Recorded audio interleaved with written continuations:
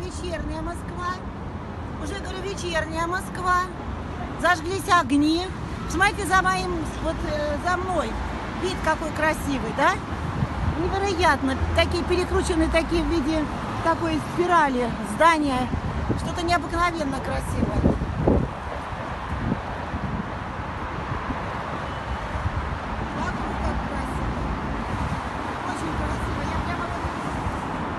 Вокруг красота.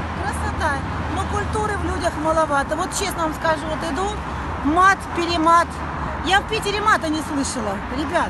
Вот я шла в Питере и какие-то теплые люди навстречу. В машине такси едешь, приятные такие таксисты люди такие. Ну, оно и в Москве мы с хорошим человеком ехали. Ну, в принципе, понимаете, сразу, сразу чувствуется разница столиц, вот сразу. Вот при всей этой красоте московской, да, чуть-чуть бы вот культуру люди подтянули бы, да, как бы было бы замечательно. Похабщина звучит, какая-то вот идешь, такую гадость говорят вокруг, такую между собой люди, они не обращают ни на кого внимания.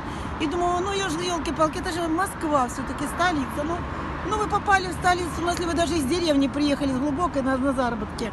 Но будьте же вы людьми. Ну, я представляю москвичей, как они страдают. Вот истинно коренные москвичи, которые здесь родились и в культуре выросли. И, конечно, сейчас очень приезжает много народу, ну, своеобразного.